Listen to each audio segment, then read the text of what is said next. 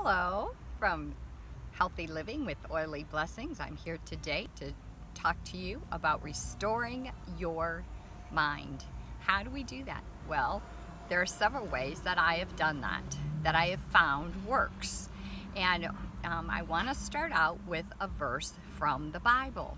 It says in Romans 12, 2, it says, Be ye transformed by the renewing of your mind do not conform to the ways of the world, but be ye transformed by the renewing of your mind.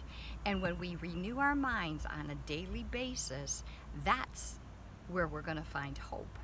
Because when we look at the world and we see the world, and I'm sitting here in my car um, on my way into Starbucks because sometimes that helps me to renew my mind.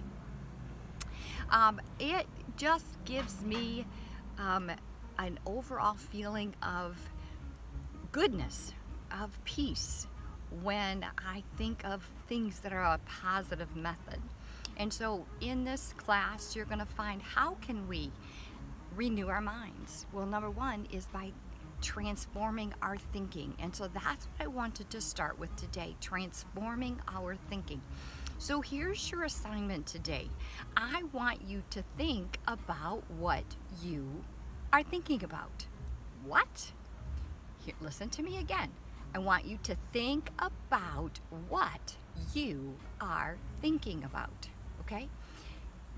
Hear your thoughts. Listen to what you're thinking, and you're going to be surprised at what you're, it might surprise you.